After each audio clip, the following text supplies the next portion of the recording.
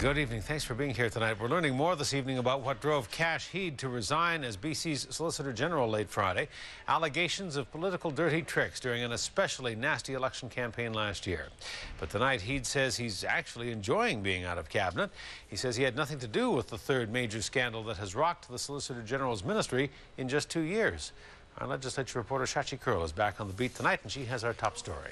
Doesn't uh, feel strange at all. Matter of fact, uh, you know, I'm uh, enjoying the new opportunity here. Uh, you know, getting some great support from my colleagues, Listening to Kash Heed, you'd think he was glad to have a break from the pressures of cabinet. But this timeout wasn't voluntary. He's resigned. He says it's out of an abundance of caution. Critics say he's under a cloud.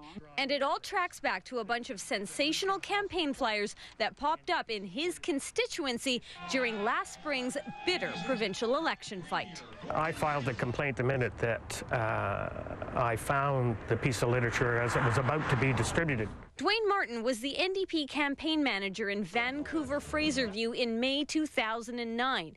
The complaint was over Chinese and English brochures that claimed the NDP supported a death tax and wanted to legalize drugs and prostitution. The big problem is under the Elections Act, the flyers were supposed to identify who paid for them. They didn't. Now questions are swirling about whether Heed's Liberal campaign was behind the mailout. Who was involved in that? Uh, how far up, you know, the uh, the campaign chain does this go? Does it go all the way up to the top of uh, BC Liberal uh, headquarters? According to Elections BC, even if the flyers were linked back to Kash Heed or his campaign, it's not enough for the former Solicitor General to lose his seat.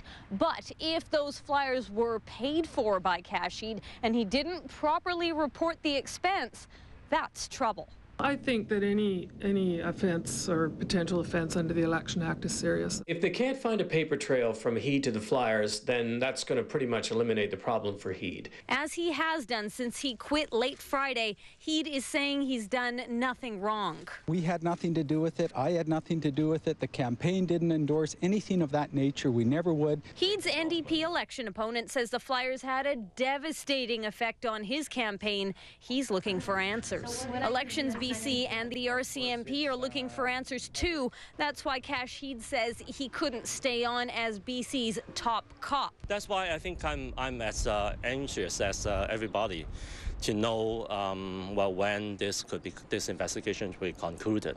It's not known when police will complete their investigation. No criminal charges have been laid.